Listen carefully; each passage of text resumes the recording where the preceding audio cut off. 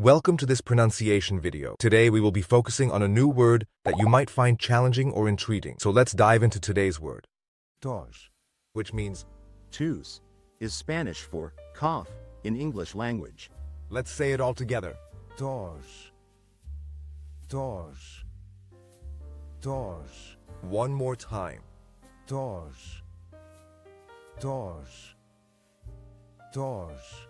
Thank you for joining us on this adventure in pronunciation. Remember, language is a journey, not a destination. Keep exploring, experimenting, and expanding your linguistic horizons. We'll see you next time.